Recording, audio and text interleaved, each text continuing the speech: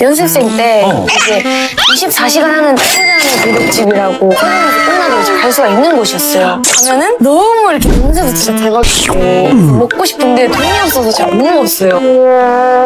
나중에 진짜 데뷔해서 여기서 마음껏 시켜서 이렇게 해가지고 오늘 성원이다 이렇게 생각했는데 요즘에 저원 왔어요. 아 진짜?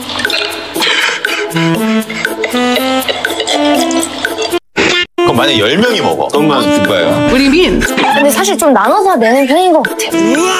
정확히 n분의 1딱 하셔가지고. 네.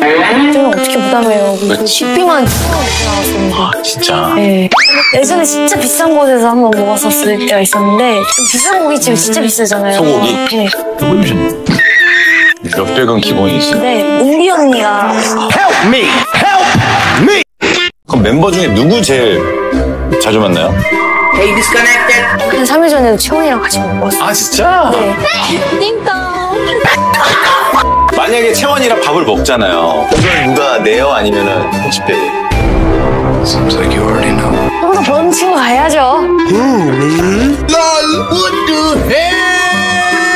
그럼 채원이랑 먹었을 때 누가 했어? 그러기로 했습니다. 제가 할게요, 언니. 그래. 너가 좀 더 보이면 너가 살아. 너가 살아. 너가 살아. 아, 진짜.